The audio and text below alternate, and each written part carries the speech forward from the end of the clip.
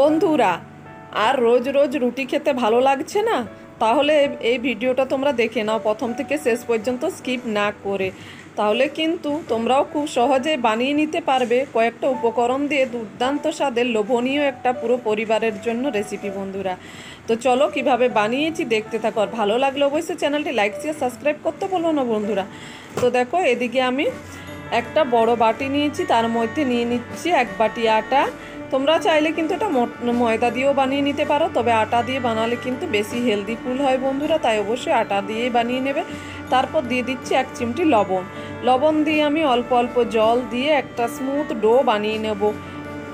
তো দেখো, কথা বলতে বলতে কিন্তু এখানে আমি একবারে জলটা দিইনি, অল্প জল দিয়ে ডোটা আমি বানিয়ে নিয়েছি। একটা স্মুথ ডো কিন্তু বানিয়ে এটাকে আমি সাইডে রেখে দিচ্ছি দশ মিনিটের জন্য ঢেকে। এদিকে আবারও একটা বাটি নিয়ে নিয়েছি, তার মধ্যে দিয়ে দিচ্ছি আমি চার চামচের মতো আটা। আটার মধ্যে দিয়ে দিচ্ছি এক চিমটি লবণ, তারপর দিয়ে দিচ্ছি চিলি ফ্লেক্স, তারপর দিয়ে দিচ্ছি হাফ চামচেরও কম হলুদ গুঁড়ো। সবগুলোকে ভালো করে শুকনো উপকরণগুলো মিশিয়ে নিচ্ছি, তারপর অল্প অল্প জল দিয়ে একটা ব্যাটার বানিয়ে নেব। আর একবারে জল দেবেন না বন্ধুরা, তাহলে কিন্তু খুব বেশি পাতলা হয়ে যাবে। এই ব্যাটারটা বানানোর জন্য খুব বেশি পাতলাও না, আবার গাঢ়ও না, এরকম একটা ব্যাটার তৈরি করে নিতে হবে। তবে এখানে অল্প অল্প জল দিয়ে কিন্তু ব্যাটারটা বানিয়ে নেবেন, তাহলে কিন্তু একদম পারফেক্ট একটা ব্যাটার তৈরি হয়ে যাবে। তো দেখুন, আমি একবার দিয়েছি জলটা, তারপর আবারও অল্প জল দিয়ে দিচ্ছি। এইভাবে একটা ব্যাটার আমি, দেখুন, এরকম একটা ব্যাটার বানিয়ে নিয়েছি। ব্যাটারটা বানানো হয়ে গেছে, সাইডে রেখে দিচ্ছি। এদিকে দুটো আলুকে আমি সেদ্ধ করে রেখে দিয়েছিলাম। এখন কাটা চামচের সাহায্যে ম্যাশ করে নিচ্ছি। যেহেতু আলুটা খুব গরম আছে, তাই আমি কাটা চামচের সাহায্যে ম্যাশ করে নিচ্ছি। তোমরা ঠান্ডা করে এটা হাত দিয়েও কিন্তু ম্যাশ করে নিতে পারো খুব সহজেই। হ্যাঁ বন্ধুরা, তোমরা যারা প্রথম আমার চ্যানেল ভিজিট করছ, তাদের কাছে অনুরোধ রইল, চ্যানেলটি অবশ্যই সাবস্ক্রাইব করে দিও বন্ধুরা। পাশে থাকা বেল আইকনটি প্রেস করে দিও। আর একটা লাইক করে দিও বন্ধুরা লাইক করতে কিন্তু ভুলো না। তোমাদের এই একটা লাইকে কিন্তু আমি ভিডিও বানাতে মোটিভেট হই বন্ধুরা। তাই অবশ্যই একটা লাইক করে দিও। আলুটা ম্যাশ করে নিয়েছি, তারপর দিয়ে দিচ্ছি স্বাদ মতো লবণ চিলি ফ্লেক্স দিয়ে দিয়েছি, একটু আমি ভাজা জিরে গুঁড়ো দিয়ে দিয়েছি, আর একটু চাট মশলা দিয়েছি। তারপর বেশ কিছুটা ধনে পাতা দিয়ে দিয়েছি। এখন আমি এটাকে চামচের সাহায্যে ম্যাশ করছিলাম, কিন্তু চামচের সাহায্যে ম্যাশ এটা ভালো করে মেশানো যাচ্ছিল না। তাই আমি হাত দিয়ে ভালো করে এটাকে একটু ঠান্ডা করে নিয়ে আমি এখন ভালো করে মিশিয়ে নিচ্ছি আলুর সঙ্গে। আলুটা মেশানো হয়ে গেছে। এদিকে দশ মিনিট পর আটার ডোটা নিয়ে নিয়েছি। আটার ডোটা নিয়ে আমি এটাকে আবারও হাত দিয়ে একটু ভালো করে মুথে নিচ্ছি। তারপর দুটো ভাগে ভাগ করে দিচ্ছি। একটা ভাগকে আমি ঢেকে সাইডে রেখে দিয়েছি। আর একটা ডো আমি নিয়ে নিয়েছি। ডোয়ের মধ্যে অল্প আটা দিয়ে দিচ্ছি, তারপর হাত দিয়ে একটু চেপটে করে দিচ্ছি। এখন আমি এটাকে বেলে নেব।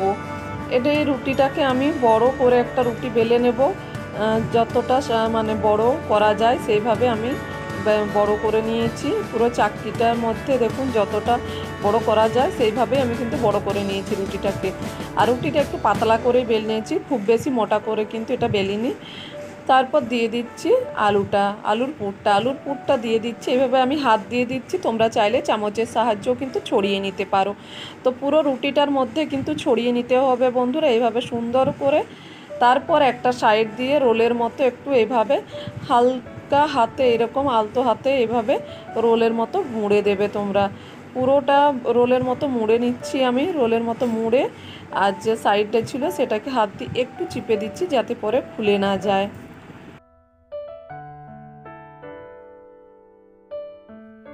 তারপর একটা ছুরির সাহায্যে আমি এটাকে, দেখো, পিস পিস করে কেটে নিচ্ছি। এক পুরো রুটিটাকে আমি এইভাবে পিস পিস করে কেটে নিচ্ছি ছুরি দিয়ে। তারপর আমি হাতের মধ্যে নিয়ে এইভাবে দেখো, দুটো সাইড একটু খুলে নিচ্ছি রুটিটাকে যাতে সুন্দরভাবে এই ডিজাইনটা এসে যায়। কিছু না, বন্ধুরা, খুব সহজে এটা তোমরা তৈরি করে নিতে পারবে। একটু খুলে নিয়ে হাত দিয়ে কিন্তু চিপে দিলে এটা তৈরি হয়ে যাবে। সবগুলো দেখো, আমি একইভাবে বানিয়ে নেব। তবে আরেকটা আমি তোমাদেরকে দেখিয়ে নিচ্ছি, যে দেখিয়ে দিচ্ছি যে কীভাবে আমি এটাকে বানাচ্ছি এটা। তো দেখো, এইভাবে একটু হাত দিয়ে চেপে দিলেই কিন্তু এই ডিজাইনটা এসে যাবে। খুব সহজেই কিন্তু এটা তৈরি হয়ে যাবে বন্ধুরা, তোমরা দেখলেই কিন্তু বানিয়ে নিতে পারবে। সব ডিজাইনগুলো একইভাবে আমি বানিয়ে নিয়েছি এইভাবে খুব বেশি মোটা না, আবার খুব বেশি পাতলাও না, এটা কিন্তু মিডিয়ামভাবে এটাকে আমি এভাবে হাত দিয়ে চেপে বানিয়ে নিয়েছি। তারপর দিয়ে দিচ্ছি যে আটার যে ব্যাটারটা আমি বানিয়ে রেখেছিলাম, তার মধ্যে এখন লাগিয়ে নিচ্ছি।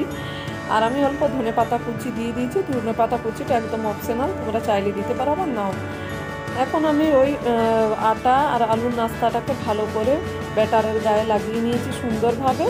তারপরে এক্সট্রা ঝরিয়ে নিয়ে এখন তেলের মধ্যে দিয়ে দিচ্ছি। আর তেলটা আগে থেকে ভালো করে গরম করে নিয়ে তারপর আঁচটা একদম লো করে দিয়েছিলাম। এইভাবে লো ফ্লেমে এগুলোকে ভেজে নিতে হবে কিন্তু।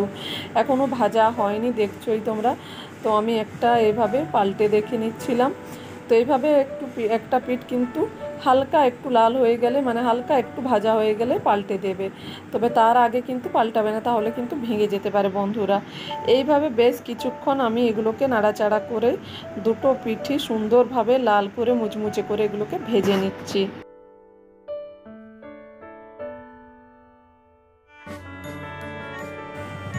দুটো সাইডে দেখো একদম লাল করে মুচমুচে করে এগুলোকে আমি ভেজে নিয়েছি। এখন তেল থেকে তেল ঝরিয়ে উঠিয়ে নেব একটা থালার মধ্যে। যেহেতু খুব গরম আছে, তাই প্লেটে দিচ্ছি না আমি। থালার মধ্যে উঠিয়ে নিচ্ছি, একটু ঠান্ডা হওয়ার জন্য। তারপর এগুলোকে আমি একটা প্লেটে সাজিয়ে দিচ্ছি সুন্দরভাবে বন্ধুরা। তোমরা চাইলে কিন্তু এগুলোকে টমেটো কেচাপের সঙ্গে বা ধনে পাতার চাটনির সঙ্গেও খেতে পারো বা এমনিও খেতে পারো। বন্ধুরা, দুর্দান্ত লাগবে খেতে কিন্তু। আবার তোমরা চাইলে বাচ্চাদেরকে টিফিনও বানিয়ে দিতে পারো বন্ধুরা। একঘেয়েমি রুটি খেতে কার ভালো লাগে বলুন? কারোই ভালো লাগে না। তো একদিন তোমরা এই রেসিপিটা বানিয়ে দেখতে পারো বন্ধুরা। আর বানালে অবশ্যই কমেন্ট বক্সে দিয়ে কমেন্ট করে জানাতে ভুলো। কত সহজে কয়েকটা মাত্র উপকরণ দিই। কি সুন্দর একটা রেসিপি তৈরি হয়ে গেল বন্ধুরা। চাইলে তোমরা এটা সকাল বিকেলে নাস্তা হিসেবে বানিয়ে খেতে পারো।